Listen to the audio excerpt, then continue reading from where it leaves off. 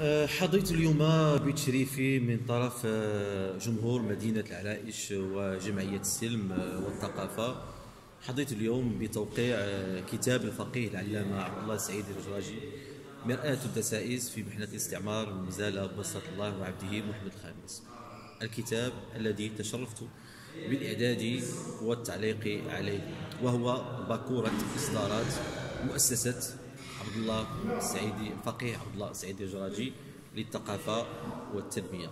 الكتاب هو كتاب ينتمي إلى التاريخ المحلي ينتمي إلى التاريخ الجهوي ينتمي إلى تراث الفقهاء والعلماء الذين آه، نافحوا ودافعوا عن وطنهم وكان لهم اعتزاز بوطنيتهم وتعلقهم آه، الكبير بالمشروعية وبالبطل المجاهد المغفور له محمد الخامس كما قلت الكتاب هو باكورة إصدارات مؤسسة الفقيه عبد الله السعيدي الجراجي. وكان لنا الشرف إصدار هذا الكتاب تيمنا ببطل التحرير والمجاهد المغفور له محمد الخامس تيمنا بهذا القائد العظيم. اخترنا أن تكون أولى إصدارات هي للنفس السياسي للفقيه عبد الله السعيدي الجراجي. والفقيه عبد الله السعيدي الجراجي وكتابه هذا هو نابع من تربة خيرة من تربة فاضلة من تربة آه، لها آه، أنجبت العلماء أنجبت آه، الفقهاء أنجبت المحبين لوطنهم أنجبت العديد من الخيرين وهي تربة بلاد الجراجة. وكما تعلمون أن بلاد الجراجة هي قبائل ومنطقة لها مركزيتها في تاريخ المغرب لها حضورها.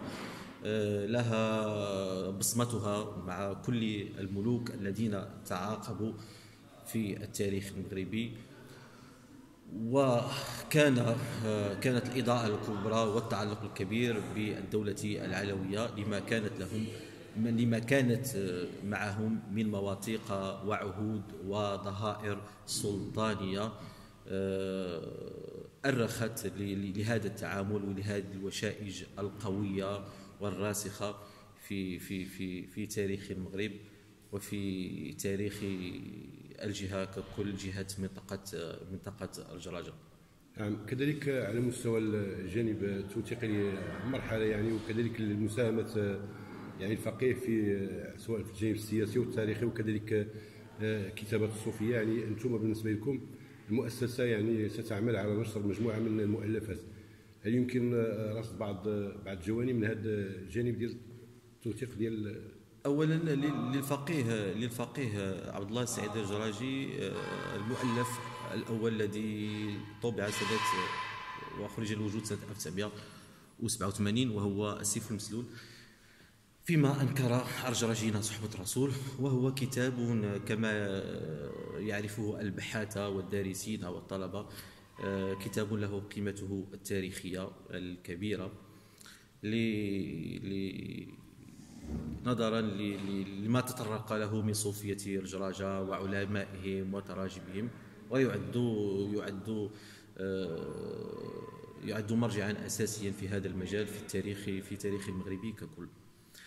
والمؤسسة التي سميت باسم الفقيه اتخذت على عاتقها أن تخرج العديد من الأعمال التي تنتمي للجهة وتنتمي للتاريخ المحلي وتنتمي إلى تاريخ آه، الجهة ككل وأن تخرج العديد من الكنوز العديد من التراث العديد من المخطوطات التي تنتمي للتاريخ وتنتمي لجهة بلاد رجاجة أسفي صويرة وهكذا.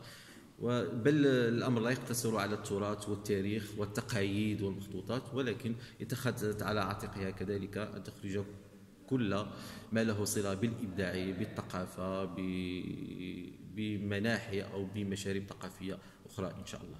والإصدارات القادمة للمؤسسة؟ الإصدارات القادمة ديال المؤسسه سيكون إن شاء الله الإصدار الإصدار الآخر للمؤسسة وهو آه، صراخ الذاكرة. صراخ الذاكرة آه، ملامح من سيره ذاتية للأستاذ العلامة المؤرخ الاستاذ محمد السعيدي الركراكي. على أساس أنه إن شاء الله في الأيام أو في الشهور المقبلة ستخرج إصدارات أخرى تتعلق بالشعر أو بالرواية أو بالتاريخ أو بمصنفات سياسية أخرى إن شاء الله. ونرجو من الله السداد والتوفيق. آه، يعني نعرف في مراحل التاريخ من تاريخ المغرب يعني لعبت شخصيات مهمة سواء في الأدب أو في في السياسة وفي كان مختار القنوني الذي كعبد الله القنوني الذي يعني أرخ للأدب والثقافة المغربية إضافة إلى ذلك آه، مختار السوسي في كتاب المعسول أرخ لقبائل السوس يعني تاريخ الثقافة السوسية.